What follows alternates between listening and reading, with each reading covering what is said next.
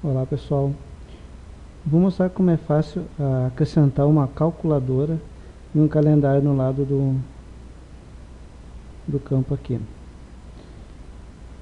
Nós podemos fazer de duas formas, uma mais tradicional, em que eu vim aqui na descrição e, mando, e desmarco, ou desmarco aqui, ó, desapareceu, apareceu de novo.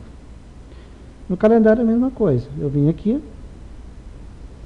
display calendário, desmarquei, marquei. Bom, nós podemos, podemos fazer na forma manual também. Aqui eu estou sem uma calculadora, vou mandar acrescentar, acrescentou, e posso mandar tirar a calculadora também. E também posso mudar a máscara, isso aqui eu achei bem legal também.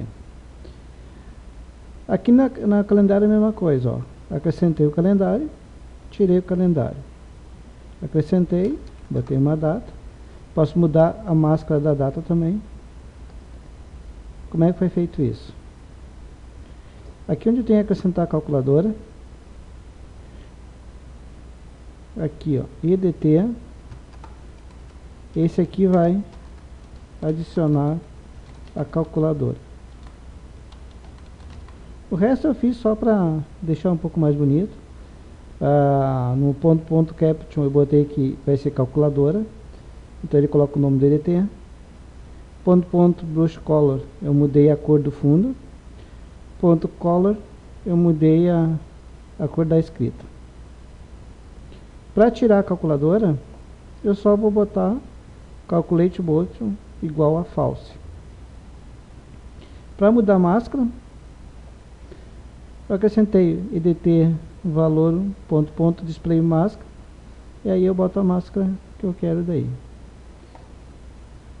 Acrescentar o calendário, mesma coisa. A única diferença é que em vez de ponto ponto calculadora vai ser ponto calendário button.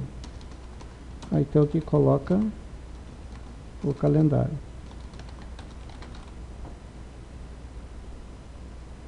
Aqui eu tiro o calendário.